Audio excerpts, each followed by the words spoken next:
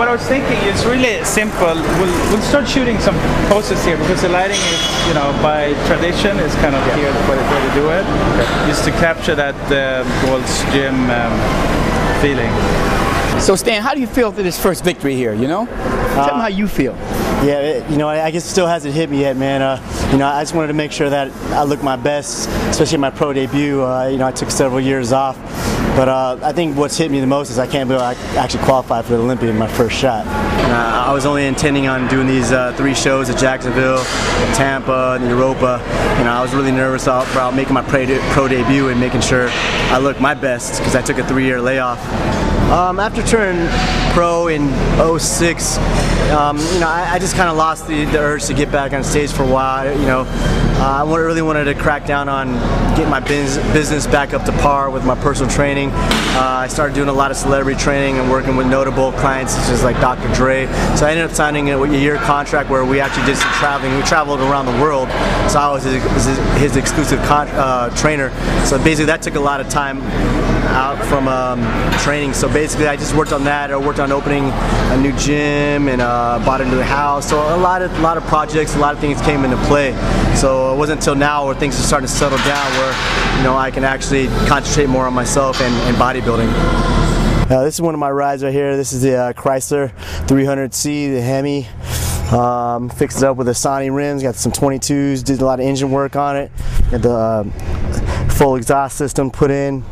Uh, you know, put a little bit of work. This is my work car. I like to drive this around daily. It's a big car. I like to ride a I ride a car with a lot of big space.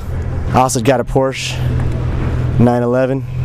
You you got to stand for three years. Stan just went in the gym and pillied around and played and had fun. Now he got busy. For instance, on in, on incline dumbbells, Stan had never been past the hundreds. We was up to 140s. We were doing 140s for reps, not just getting up for one rep. We were doing reps for 140 on that. On the hack squats, we we're doing five plates on hacks and reverse hacks. Leg press was up to like 12 plates per side. Now we're, we're, we're thinking about vitamin. We're doing repetition.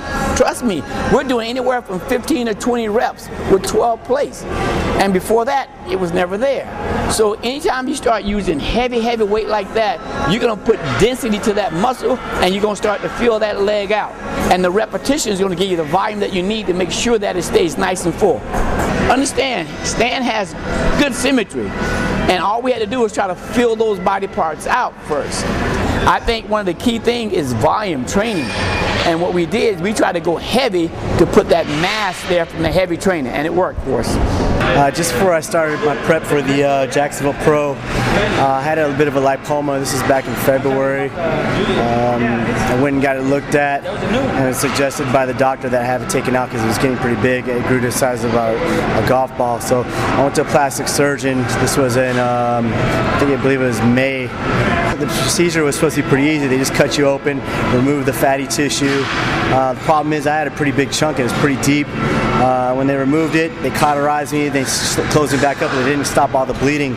So when they closed it, I, I kept bleeding for another two weeks. I was in, having having internal bleeding all the way down to my leg from my back. Couldn't figure out what it was, so I had to go back in. They had to open me back up and then close it up. So it was it was a pain in the butt. Hi, I'm Michelle De Maria, Stan's girlfriend, and um, I was extremely shocked at how well after you know the surgery and everything he, he accomplished, how he was very easy, you know, and easy to get along with. And I thought I was expecting, you know, the big mood swings, and we really didn't have much of that. I mean, he had his days ups and downs, but otherwise he just kept looking forward and stayed. And I'm super proud of what he's accomplished and how far he's come and his big win, and hoping he'll keep it going and keep it strong and stay just as focused and just as happy. I think uh, getting preparing for this Europa, um, I should be 100%. I wasn't even 100% at the Jacksonville. I had the flu on uh, Thursday night and Friday. I didn't tell anybody about that. Um, but what difference is that was that going to make? You know, I just I still got to enter the show. So mentally, I, I- didn't feel like I was 100%. Um, the flight messed me up a little bit. I didn't anticipate holding that much water when I got off the flight. So it'll be a shorter flight to Dallas from one. I get, I'm going to get there a day earlier, and uh, my prep is going to be a little bit better. I'm to make some changes to my diet. Um, so I will probably be about two pounds heavier. Won't be as flat, and um, I'll have a better presentation on stage. I got the, the uh, stage rust off. Are you going to sit the Olympia out this year, or are you going to compete in the Olympia this year?